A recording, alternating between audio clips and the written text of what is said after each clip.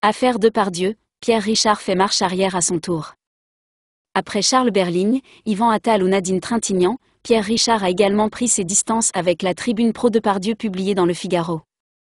Le comédien de 89 ans s'est dit choqué par l'idéologie défendue par l'auteur de cette pétition et a présenté ses excuses dans un communiqué. À qui le tour?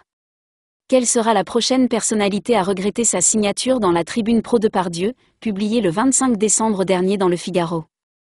Près de 60 artistes avaient paraffé cette pétition, dénonçant un lynchage qui s'abat sur le dernier monstre sacré du cinéma, visé par plusieurs plaintes et agressions sexuelles. Mais ce texte a soulevé une vague d'indignation, notamment en raison du personnage à son initiative, Yannis Eziadi, décrit comme proche des sphères identitaires et réactionnaires. De quoi donner des remords à Carole Bouquet, profondément mal à l'aise, Nadine Trintignant ou encore Charles Berligne, lesquels ont pris leur distance avec cette tribune en raison des idéologies politiques de son géniteur.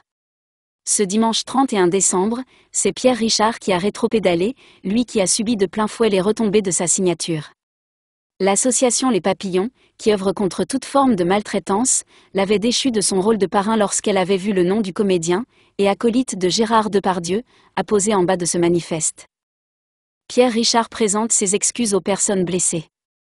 J'ai accepté de signer cette tribune uniquement au nom de la présomption d'innocence à laquelle a droit tout citoyen, y compris Gérard Depardieu. Malheureusement, ce texte ne reflète pas le soutien que je porte à toutes les victimes d'agressions sexuelles. Il ne mesure ni l'intensité de leur douleur ni le chemin de souffrance pour le faire reconnaître, débute le Grand Blond dans un court communiqué publié sur X.